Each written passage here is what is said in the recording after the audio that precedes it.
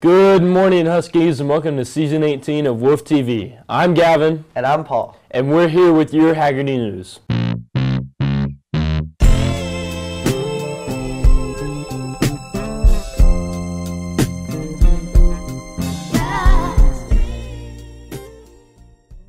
Anyone interested in playing spring football needs to see Coach Michaels in Portable 1 or Coach Q in the gym. Practice begins on April 29th.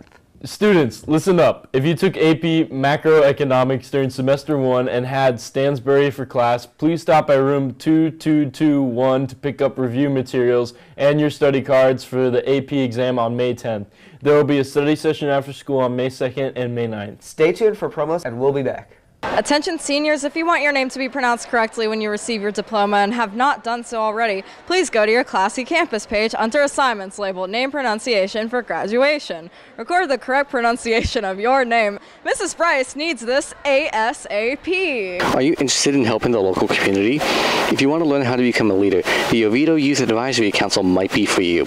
The organization works directly with the mayor's office to solve community problems such as cleanups, extra volunteers for community events, ACT workshops, and more.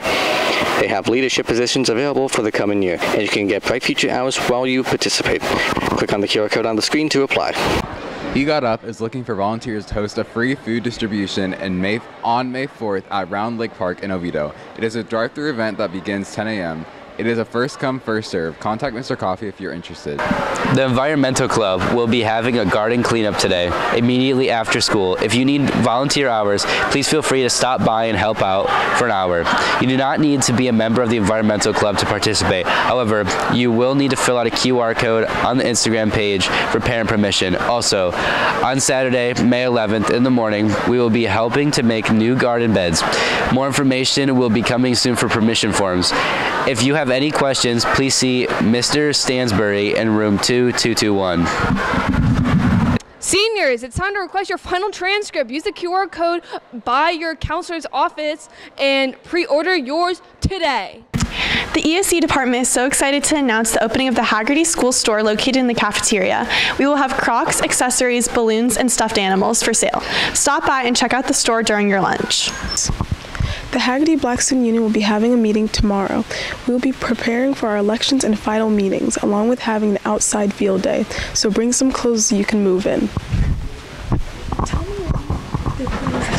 Attention NTHS seniors. Cords must be purchased through My School Bucks by Tuesday, April 30th. If you miss the deadline, you will not receive a cord. Also, your hours are due now. Attention seniors, do you need extra tickets for graduation? Every senior will receive 10 free tickets at graduation rehearsal. However, if you need extra tickets, they will be purchased through My School Bucks for $5 each. The class of 2027 is holding a food drive during, during the month of April to support the UCF Food Pantry.